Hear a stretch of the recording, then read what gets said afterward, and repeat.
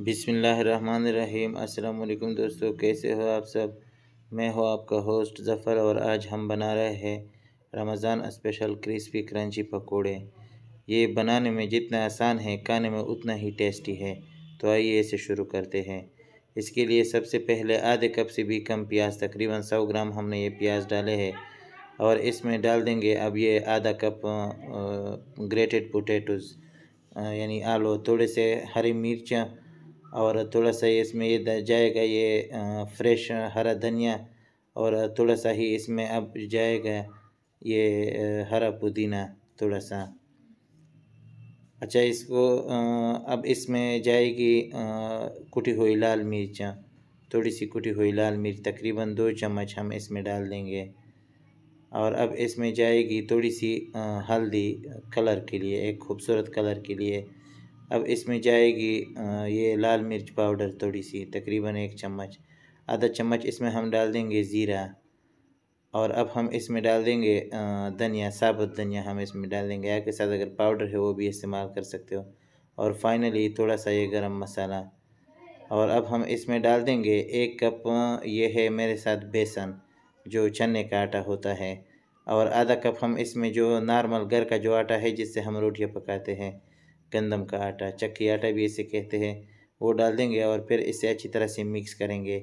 इन सारे इंग्रेडिएंट्स को अच्छी तरह से पहले मिक्स करेंगे। अच्छा दोस्तों, इस बीच अगर आपने चैनल को सब्सक्राइब नहीं किया है तो चैनल को ज़रूर सब्सक्राइब कर ले। वीडियो को लाइक और शेयर करें अपने फ्रेंड्स और फैमिली के साथ। और अपनी राय का इजहार ज़रूर कमेंट में दिया करें।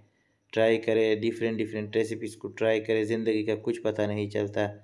न जाने कब इंसान की मौत आ जाए तो उससे अच्छी तरह, उससे अच्छी बात यह है कि इंसान अपनी ज़िंदगी को, अपनी लाइफ को इंजॉय कर सके। दूसरी बात यह है कि रमज़ान है तो इसमें तो पकोड़े ना बने, फिर तो इफ्तारी की कोई शान शौकत नहीं रहती। तो ये हमारा हो चुका है, अच्छी तरह से मिक्स अब थोड़े से इसको रेस्ट पे रहने देंगे, तकरीबन 20 से 25 मिनट इसको रेस्ट पे रहने दें। और अब हम एक पैन में डाल देंगे। ये आधा कप है मेरे पास घी। ग्राम्स में अगर देखे जाए तो ये 130 से 150 ग्राम्स बनता है। इसको पहले अच्छी तरह से गर्म करेंगे। जब ये अच्छी तरह से गर्म हो जाए तब हम इसमें आगे का प्रोसेस करेंगे। तो ये बिल्कुल अच्छी तरह से गर्म हो चुका है। अब हम इसमें पकौड़े डाल देंगे।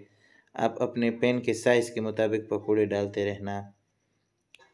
तो ये हमने डाल दिए है। अच्छा आ, मीडियम आँच जो है आपका वो कोशिश करें कि मीडियम टू हाई हो।